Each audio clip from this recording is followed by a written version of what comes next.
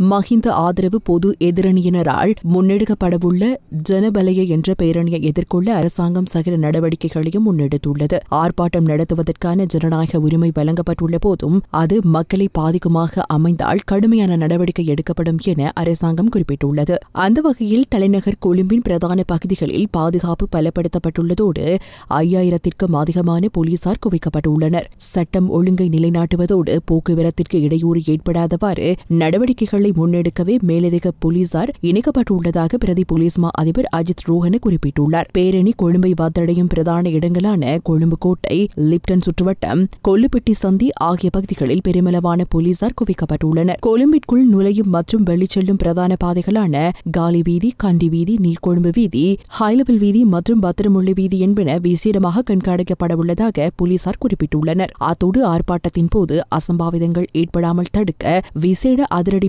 படையினர் மற்றும் தண்ணீர் தாங்கி கண்ணீர் புகை குண்டுகளுடன் களத்தடுப்பு போலீசார் ஆகியோரும் ஆயத்த நிலையில் உள்ளனர். அரசாங்கத்திற்கு எதிராக நடத்த தீர்மானிக்கப்பட்டிருக்கும் இந்த பேரணியில் சுமார் ஐந்து லட்சம் பேர் வரை கலந்து கொள்வார்கள் என பொது எதிரணி தெரிவித்துள்ளமை குறிப்பிடத்தக்கது. Athavan news dot com. இப்பொழுது ஆப்பிள் மற்றும் ஆண்ட்ராய்டு ஆப்ஸ்களில் எங்கேயும் எப்போதும் ஆதவனின் வாசகர்கள் உடனுக்குடன் செய்திகளையும் தகவல்களையும் அறிந்து கொள்ள இலகுவான தொழில்நுட்பம் ஆப்பிள் ஆண்ட்ராய்ட் ஆப்ஸ்களை இன்றே டவுன்லோட் செய்வதுடன் உறவினர் நண்பர்களுக்கும் அறிமுகம் செய்யுங்கள். ஆதவன் நியூஸ் ஆப்ஸினை டவுன்லோட் செய்யும் எமது இலங்கை வாசகர்களுக்கு மாபெரும் அதிர்ஷ்டம்.